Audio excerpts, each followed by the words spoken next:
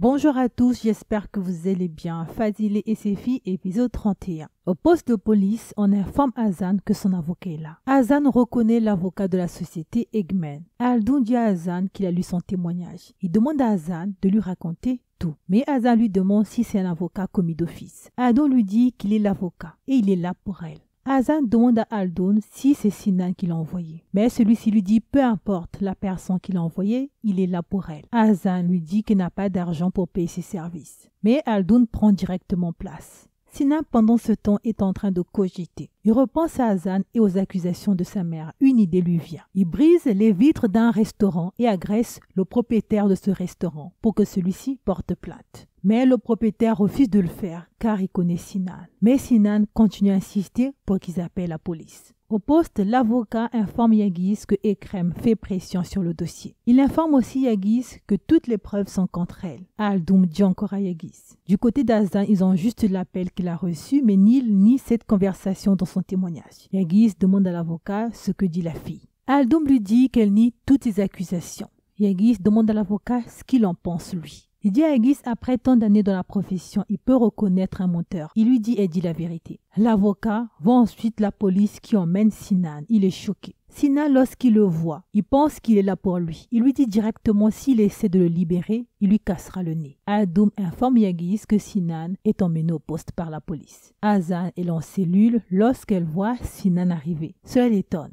Plus tard le soir, les Eggmen apprennent l'infraction commise par Sinan et que tout le monde était surpris de voir qu'il voulait que la police soit là. Gouzide leur dit Sinan doit consulter un spécialiste, mais Selim leur dit qu'il a fait exprès. Gokan décide d'appeler leur avocat, mais Azim refuse. Il dit à ses enfants, Sinan doit assumer. Là, Selim demande à son père qui s'occupera de la mère de la fille. Elle lui dit ils ne peuvent pas garder Fazile vu que sa fille s'est pris à une autre personne. Azim quitte le salon agacé. Yasmine, qui avait quitté elle aussi le salon, pense aux menaces de Tariq. Gokan vient lui demander ce qu'elle a. Elle dit à Gokan qu'elle a une migraine. Gokan lui rappelle qu'elle n'a pas dit un mot sur l'affaire Nil. Pendant qu'ils discutent, Guzem appelle. Yasmine sous pression ne répond pas. Gokan dit à Yasmine que Guzem l'appelle. Gokan prend le téléphone. Yasmine l'en empêche. Là, Gokan voit Giz. Il dit à Yasmine que c'est la femme des crèmes qui l'appelle. Mais Yasmine fait croire à Gokan qu'elle appellera plus tard, vu qu'elles ont passé toute la journée ensemble. Gokan prend l'appel, mais personne ne parle. Il dit à Yasmine que Giz a raccroché. Il demande ensuite à Yasmine d'aller s'allonger. De l'autre côté, pendant qu'il est en route, Yagiz reçoit l'appel de Tariq. Tariq l'invite à le rejoindre au restaurant. Yagiz accepte, mais il n'est pas emballé. Le serveur du restaurant où se trouve Tariq appelle Gokan pour lui rappeler qu'il avait demandé à l'informer si Tariq revenait dans leur restaurant. Il lui dit donc qu'il est là. Gokan fait croire à Yasmine qu'il se rend au chantier pour régler quelques bricoles. Il quitte la maison. Fazle, elle, revient au poste pour apporter à Hazan des vêtements propres et de quoi manger. Mais le policier leur dit que c'est interdit. Puis il leur demande de rentrer chez eux, ça agace Fazile. Il demande au policier comment peut-elle dormir dans des draps chauds pendant que sa fille dort dans le froid. Et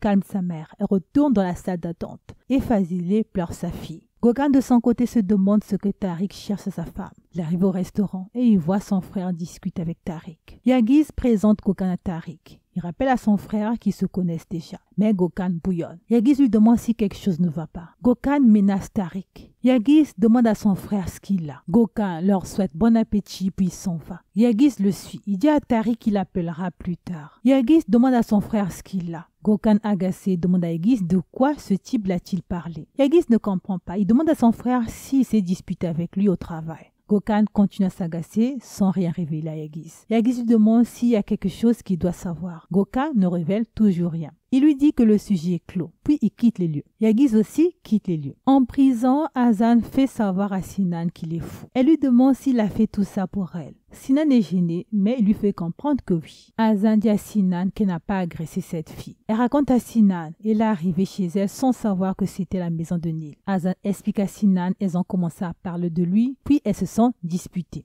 Elle lui dit encore, elle a fini par quitter les lieux. Sinan promet à Hazan de ne plus lui causer du tort. Yagis de son côté regarde les talents portés par Hazan et il est sous pression. Pendant ce temps, Hazan retrouve le sourire aux côtés de Sinan. Le lendemain, Yagis retrouve Aldoun au poste. L'avocat l'informe que Sinan va bientôt être libéré. Aldoun informe Yagis que le propriétaire du restaurant n'a jamais porté plainte contre Sinan et que c'était Sinan qui avait insisté. Yagis ne comprend pas ce que Sinan est en train de faire. Là, l'avocat l'informe que Sinan lui a dit qu'il ne voulait pas laisser la fille seule. Comme c'est romantique, blague aiguise. Il demande directement à l'avocat la situation de la fille. Pendant qu'elle attend Azan, Fazile discute au téléphone avec Eichi et là, elle voit Sinan arriver au poste avec des policiers. Cela l'étonne. Peu de temps après, Azan sort. Yagis de son côté apprend que Azan est libéré et attend son procès. Aldoun informe Yagis que le père de Nil a insisté pour qu'elle soit maintenue en détention. Il dit à Yagis que la fille n'est pas dangereuse car elle n'a pas de passeport. Son casier judiciaire est vierge. Il dit donc à Yagis, ils ont obtenu sa libération. Yagis demande à Aldoun de continuer avec l'affaire. Il lui dit aussi la fille ne doit pas savoir que c'est lui qui l'a engagée. Adoun dit à Yagis que la fille pense même que c'est Sinan qui l'a envoyé. Adoun informe ensuite Yagis que la fille refuse qu'il soit son avocat. Yagis lui demande ce qui s'est passé. C'est une question d'argent, monsieur Yagis,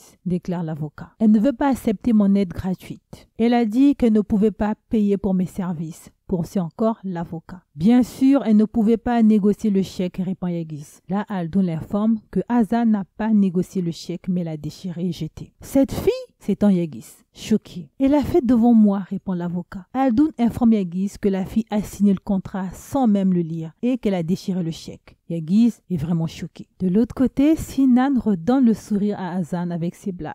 Fazil est choqué lorsqu'elle voit sa fille sourire avec Sinan. Elle demande à Hazan ce que Sinan fait là, mais Hazan lui dit qu'elle ignore. Dehors, Yagis redemande à l'avocat s'il a vraiment vu ce chèque déchiré et le contrat signé. L'avocat accepte. Dit à Yagis c'est la première fois qu'il voit cela depuis qu'il exerce ce métier. Yagis est toujours sous le choc. L'avocat s'en va. Sinan arrive. Il est heureux. Il demande à son frère s'il est là pour lui. Yagis accepte. Mais il est encore sous le choc. Sinan lui demande ce qu'il a. Yagis ne répond pas. Et là, Hazan sort du poste avec sa mère. Elle et Yagis se regardent. Hazan est en colère quand elle voit Yagis. Tous les deux continuent à se regarder. Sinan demande à son frère qui regarde-t-il? Il se retourne et là il voit Hazan et son frère qui se regardent. Fazile de son côté conseille Hazan de ne pas refuser l'aide de l'avocat de Sinan. Hazan refuse et dit à sa mère elle veut juste un avocat public. Les deux femmes s'en vont. Hazan et Yagis se regardent à nouveau. Yagis fait savoir à Sinan il a quelque chose à lui dire, mais Sinan lui dit plus tard car il a une chose à faire. Il s'en va. Yagis monte dans sa voiture, il n'arrive toujours pas à croire que Hazan ait déchiré ce chèque. Fazile pendant ce temps demande à Hazan de rentrer se doucher. Elle lui dit elle doit aller voir Monsieur Azim, mais Hazan dit à sa mère de ne pas aggraver la situation. Mais Fazile lui fait savoir qu'elle ne pourra jamais laisser cette sorcière la calomnier. Fazile demande ensuite à Hazan de rentrer tout droit à la maison. Fazile s'en va. Dans la voiture, Yagis repense à ses propos durs contre Hazan qu'elle n'était pas venue pour rien à l'hôtel, vu qu'elle avait atteint ses objectifs. Il est sous pression. De l'autre côté, pendant ce temps, Gokan annonce à Yasmine qu'il avait vu Tariq. Il lui dit qu'il avait un dîner d'affaires avec Yagis. Gokan dit à sa femme qu'il est devenu fou car il a eu peur que Tariq dise quelque chose à son frère. Yasmine dit à Gokan que Tariq ne peut dire que des mensonges. Gokan dit à Yasmine il ne le supportera pas si Tariq parle de sa femme à son frère. Yasmine s'agace. Il dit à Gokan si son petit frère a osé lui questionner sur sa femme, c'est qu'il n'a jamais su gérer sa place de grand frère. Elle demande à Gokan de surveiller son frère pour comprendre sa relation avec Tariq. S'agace Gokan, il met fin au débat, puis il quitte la chambre. Derrière, Yasmine déclare et doit régler le cas Aegis. Ekrem, de l'autre côté, apprend que c'est l'avocat de la famille Egmen qui défend la fille. Ça l'agace vraiment. Neil, pendant ce temps, demande à la domestique d'aller l'attendre dans la cuisine, chose qu'elle fait. Derrière, elle demande à son père de ne pas se laisser faire. Ekrem est très très remonté contre Azim. Il quitte directement la maison. Neil retrouve ensuite sa domestique en cuisine. Sinan arrive aussi chez Neil. En cuisine, la domestique fait comprendre à Neil qu'elle ne fera pas de faux témoignages. Ça agace Neil. Elle lui demande de se reprendre. Sinon, elle a vu ras de son travail et qu'elle demandera à son père d'arrêter de payer la bourse de sa sœur. Celle-ci est sous pression. On vient sonner chez eux. Sinan demande directement Neil. Celle-ci arrive.